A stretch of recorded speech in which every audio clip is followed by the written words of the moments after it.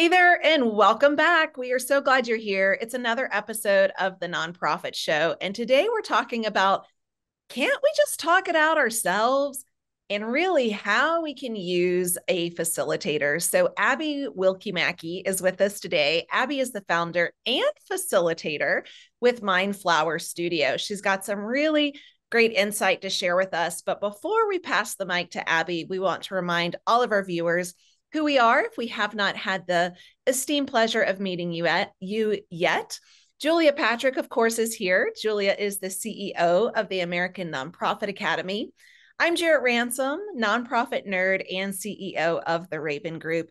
And we are so very honored. And every single day I see these logos and we say the sponsors aloud, and I'm just filled with gratitude. So, shout out of immense gratitude to these partners Thank you to Bloomerang, American Nonprofit Academy, Nonprofit Thought Leader, Fundraising Academy at National University, 180 Management Group, Your Part Time Controller, Staffing Boutique, JMT Consulting, Nonprofit Nerd, as well as Nonprofit Tech Talk.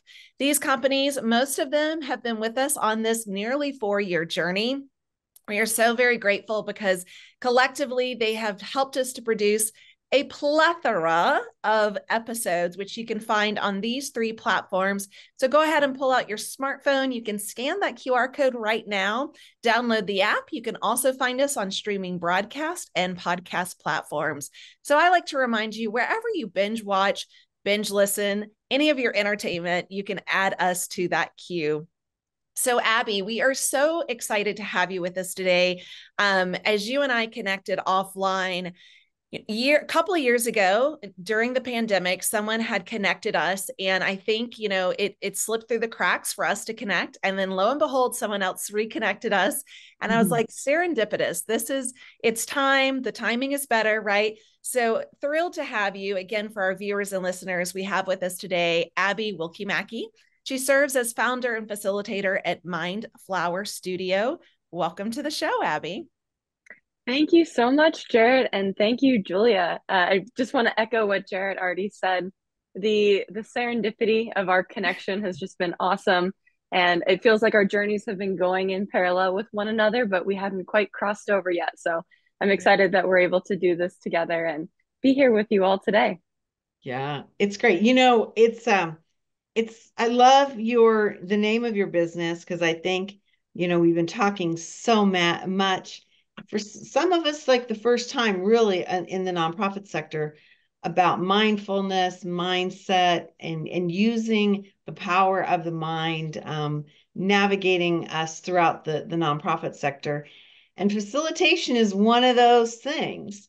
And uh, so this is going to be a really great conversation to, you know, hear your perspective and learn more about that um, because it's not just about getting back to business, it's about how we do business. And so let's get on and get in because I want to start with how neutral is that external facilitator? Um, and, you know, I hear a lot of times from organizations, they'll say, yeah, but they don't know us. They're from the outside. How can they, how can they help us? They don't know us. So talk to us about this whole ecosystem and, and mindset, if you will. Absolutely. Um, if I may even back up just a step two, let's talk about what is a facilitator and what is that, what does that role even look like? And so at Mindflower, I am a, I am a facilitator. Um, I'm actually what's called a graphic facilitator, which mm-hmm. means I use illustrations and visuals to help people understand content, have complex conversations, and use this these visuals and these graphics to to tell a story or to work through or solve a problem. So essentially that a facilitator is someone that comes in and guides the process of whatever you're trying to solve. Um, oftentimes it's strategy it's mission and vision work it's team connection it's board retreats it's any of those things where people need to come together to collaborate to solve problems, to innovate together. And so you might bring in an external facilitator to literally guide the process. Um, something I think is kind of fun is when you actually break down the roots of the word facilitator, there's that word facile in it. And so some of you may be may speak multiple languages. Uh, there are Italian roots in it, Spanish roots, but in Spanish, fácil is easy. Uh, so technically speaking, a facilitator is meant to ease a process to make it easier for you to facilitate, for for you to collaborate, for you to solve problems. Mm-hmm. Um, so they they come in and serve as the process guide and help push the creative thinking. Uh, so Julia, good question though is how neutral is an external facilitator? Let's let's dive into that a little bit. Yeah, because I think you know, um, is it a blessing or a curse that you don't know the organization? I would say it's a blessing uh-huh. because it is i would definitely say it's a blessing. Let's recognize the bias in that statement. Um, uh, so as a, a, really quick sidebar to this i train other people within an organization to be innovative thinkers and to facilitate strategic processes within their own organization. And that is one of the most tricky parts of the entire six day training that i do with them is for them to work on being an internal team member and facilitating because it is way trickier to do so when you're internal. So when you bring in an external facilitator, I listen differently. I have no vested I have vested interest in the success of the group, but I'm not attached to any idea. I'm not looking at the group and knowing all of the the things that go on underneath the surface, the dynamics that maybe exist. We're really we're starting a little bit more fresh with a little bit more of a clean slate when you come in from the outside because I don't have an idea that I want to see go the go all the way through the session like someone who might be internal might come in with that. So there's less baggage, I would say is maybe one way to put it. Mm-hmm. Yeah, I, I, really appreciate your um description on all of this, Abby, and I echo all of it, right? Even the bias part, where it's like, I too think it's a blessing. Um, I've spent the majority of my career with human services, but I've had the privilege and honor to work with other sectors. And I get to be that third party that says, I don't understand that acronym. I don't understand this, you know, why this is important because that message when you're marketing to to a new audience is really important. So i find often and i'm curious if you do too abby we tend to talk the same lexicon vernacular like everything assuming everyone else also mm-hmm. has that same like dictionary right right in the palm of their hand. And that's not the case i find. Absolutely. I think as the as the external facilitator you come in and you ask all of those questions that other people might might not be as confident to ask because right. they might feel like they were already supposed to know that whereas mm-hmm. as a facilitator you can say well what is how does that program work and you might have a board member sitting in the room saying oh thank god someone's asking this question yeah.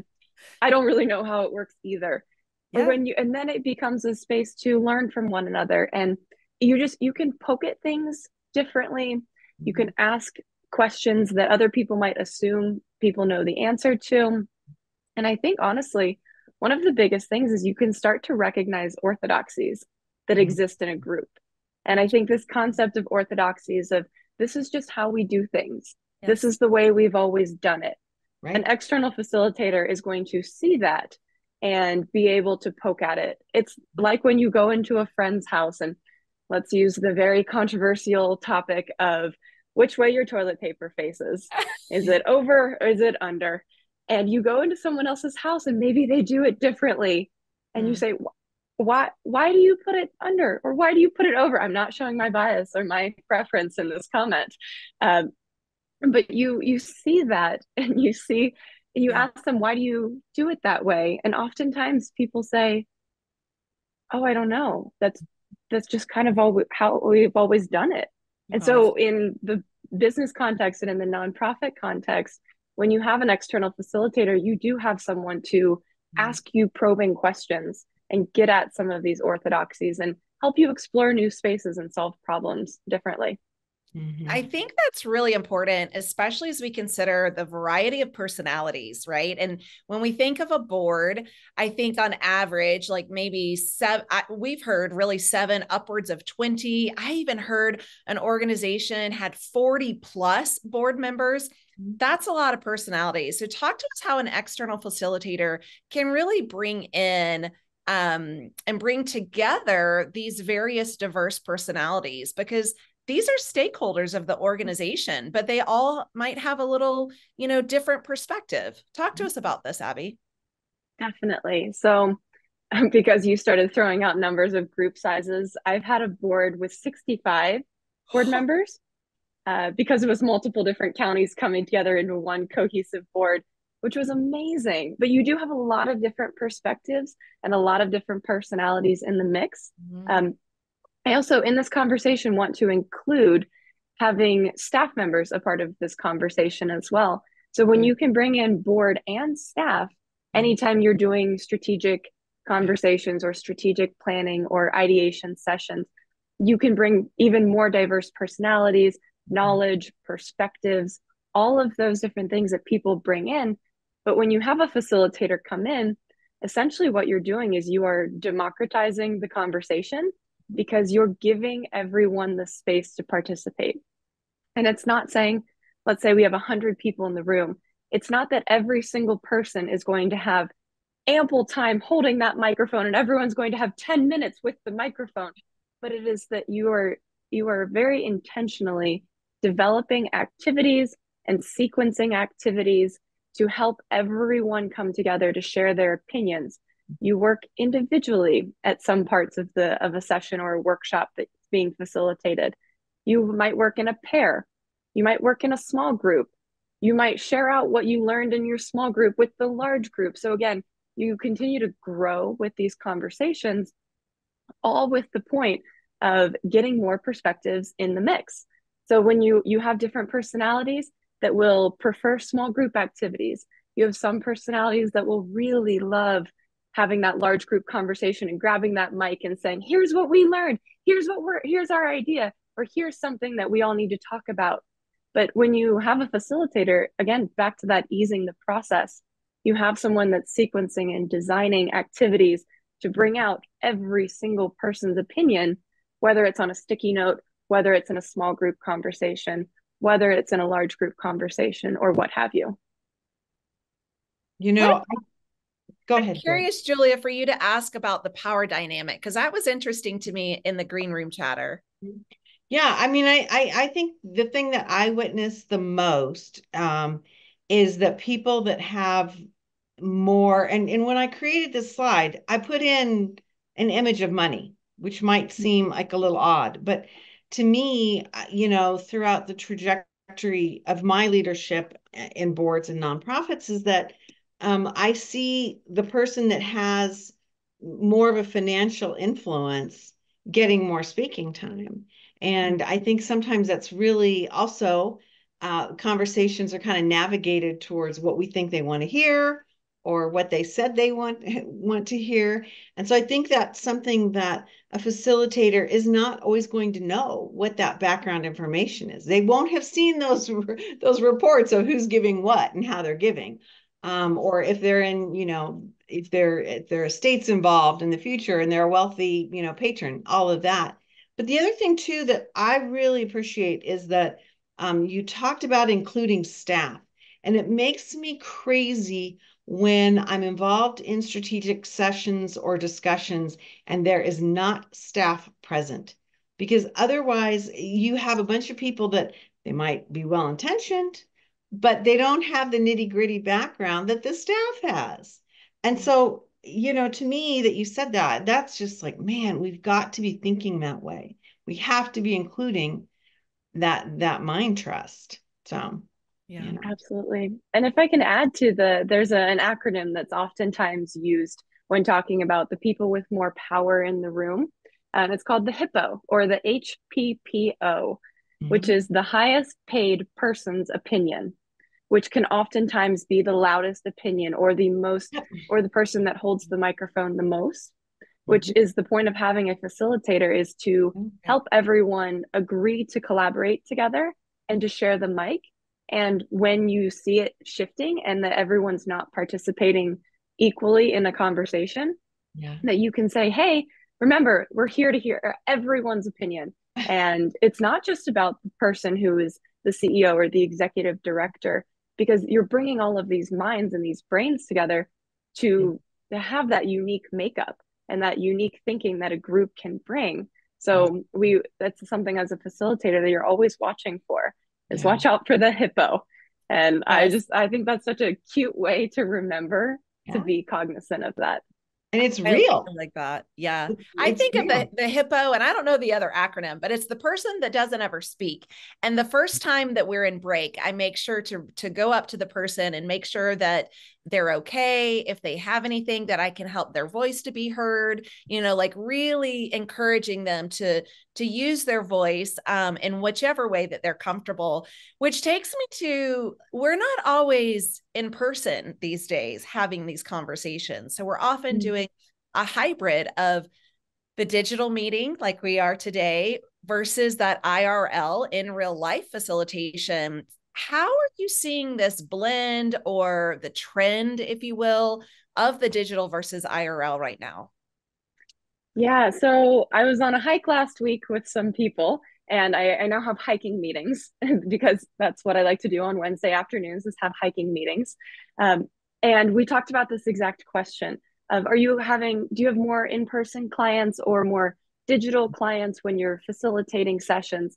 And the two people that I was hiking with both said, oh, so many digital, so many digital meetings. A lot of our workshops and planning and design sessions are digital. But I actually had the opposite opinion. So the jury's still out on this one because almost all of my big workshops, big strategic creative sessions, workshops like that are taking place in person mm-hmm. now. I was doing a ton of digital work and all of my meetings and the planning and the prep pre work, interviews, and even the illustrations that I do, all of that is digital. Hmm. However, when it's coming to the large scale, half day, one day, two day things like that, I wouldn't say five days because we're not doing five days in person at this point. Um, but when you when it comes to those big things, they're for me they're happening in person because people are seeing the benefit of coming together and being together in a physical space uh, which means real sticky notes for me, which means pipe cleaners and fidget toys and printed illustrations all over the walls, synthesizing some of their data and information. But I, I do think that to get back to the voice piece that we were just talking about, there are definitely different techniques that you can use in mm-hmm. the in person space and in the digital space to exactly your point, Jarrett, of making sure people are contributing in a way that feels right for them. Mm-hmm. If you are digital, it's really easy to have a digital sticky board. I'm not promoting any of these softwares, but maybe use Miro or Mural or mm-hmm. Jamboard with Google or something where people are putting their ideas and they're typing them. There's a little bit of that anonymity that you get, whereas in person, you might do that on a sticky note. So that can be a really great technique. It helps people process information before they have to speak it or before they have to share it and it helps them also then synthesize and organize information that everyone is contributing so you can do that in person and you can do that digitally but then thinking about the small group piece that we talked about so you mm-hmm. move from individual work into pairs or small groups in person you have a, a little table and you group up and you work through something together digitally let's use a breakout room for that and so it really, there aren't that many differences. The process for me is pretty similar. Uh, you definitely have to allow for a little bit more transition time and potential tech snafus digitally. Yeah. But then again, people get lost at the snack basket on their way between activities in person. So maybe that is a mute point. That's that so is true. You yeah. know, it's, it's interesting because I agree with you. I I work with a couple groups who you know, we used to all meet together, and then of course, you know, pandemic and moved remote. Um, and then some of our folks have in, in a couple different boards have stayed remote. And I was just thinking about this at a board meeting last week. Folks that in real life were much more animated and present and doing things. And uh, in a digital context, you don't hear from them. I mean, they show mm-hmm. up on time, they might not, they leave. I mean, the engagement factor is so present to me um, and so concerning.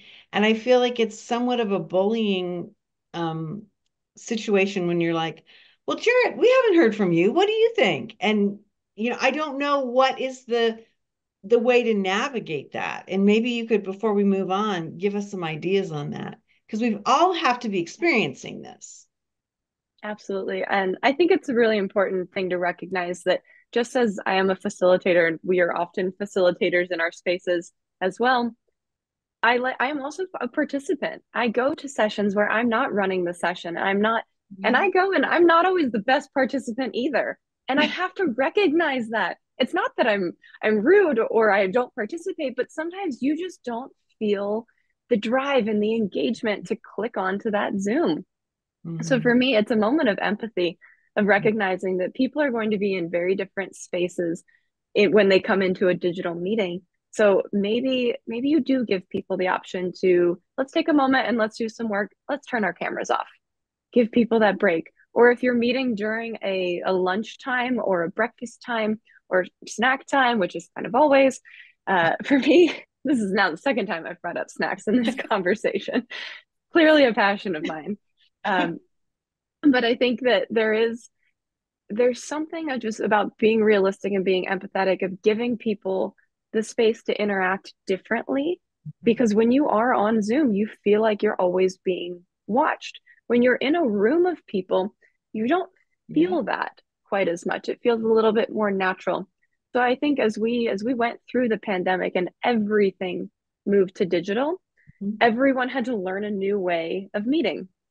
Now we're kind of swinging back where we get to choose very intentionally is this supposed to be an in-person session is this important enough for us to be together is that more valuable than the convenience of online mm-hmm. or is this just a meeting where we can get together we can connect online uh, mm-hmm. and then we can maybe prepare for something that's down the road yeah. but you asked for a couple tips and tricks though i would say oh remember that people can use the chat and yeah. it's a good way to process your thoughts for me the chat is the easiest version of the sticky note mm-hmm. it allows you to compose your thoughts develop mm-hmm. some of your thinking and then share it out with the group it's a mm-hmm. little less daunting than unmuting the microphone sometimes mm-hmm. especially in a large group and it allows you to participate in a different way so that's just i think that's the most simple one is make sure you keep diversifying the tool set that you're using. And maybe you're using some of the tools and technology for surveys and quizzes and word clouds and things like that.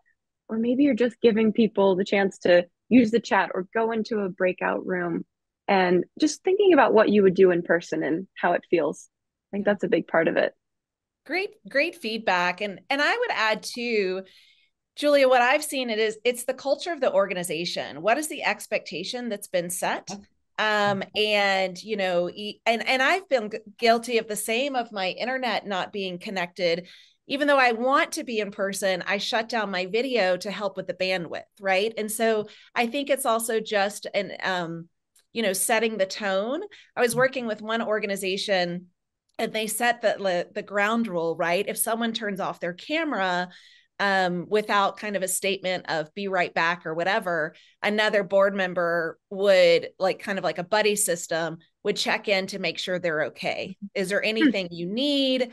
Will you be back in five minutes? So really like setting the culture for that facilitator, um, kind of like behind the facilitator support. Mm-hmm. We don't have much time, but I, I do want to switch us to this gear, which is the external facilitators, the contracts, and the cost. And we were talking in the green room.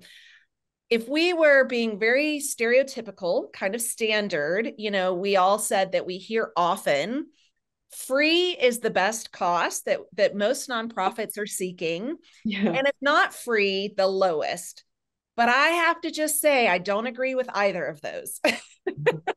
so, Abby, what are you seeing by way of um, contracts, cost, kind of that scope of work? Are there any particular dollar amounts that you're seeing as an external facilitator? I see a crazy range in yes. prices. So, this might be an absurd range, but I see anything from maybe that $5,000 workshop to $25,000 plus and then it goes up from there. I mean sometimes that can can get way higher double triple that that higher line because it depends on what you're looking for. Mm-hmm. Are you just looking for a half day engagement where people are coming together and creating and developing ideas and learning how to solve problems creatively in a space together. Maybe do you need additional prep work? Do you need, are you, what is that scoping? What does that scoping process look like for you? What are there other opinions you need to bring into the mix? Do you mm-hmm. want the voice of the community to be a mm-hmm. part of your session? So there are so many ways where this price can just be all over the place. It's one of the hardest questions I have to ask. And it's not that I'm not prepared with the answers, but there's so many variables Options. that the most important thing I think you can do is have a call with someone on the front end and figure out what are all of the things that I could offer or that I that you might need from your from this session or what's the value of it what's the importance of it. Um, and I also just want to say if those numbers feel scary there are oftentimes foundations and other funders that see the value in this work and will fund this type of work to have an external person come in and develop the, a session for you all and guide the group because they know how much success it can bring. So. I would say it's always worth a conversation. Uh, and funds can sometimes come from other places for nonprofit clients. Do you find that you have to educate um, potential clients or just folks that are exploring this as to how this works and what goes on? Because it seems to me that um, you either understand it and you know it and you support and you buy in, or you have no experience with it. And I'm kind of wondering what you see on on that arc of of bringing in a facilitator. Yeah so i think because especially with the graphic facilitation part of mindflower studio most people are unfamiliar with what that even means and what that looks like. So i'm regularly doing education with clients and helping them see literally yeah. what the process might look like. Uh, i actually oftentimes will draw out a part of my proposals as we're scoping the project. There'll be an illustration in there that showcases what the process could look like if we go through with this project, just to help people see yeah. all the steps along the way, what's coming out of different parts of the process, and where we'll start and where we'll end. But mm-hmm. every project is so unique and very bespoke as well. So I'm going on the journey with you, knowing that I have ample tools and things that I can pull from to help support any different type of conversation that we need to have. But yes, definitely need to educate people along the way.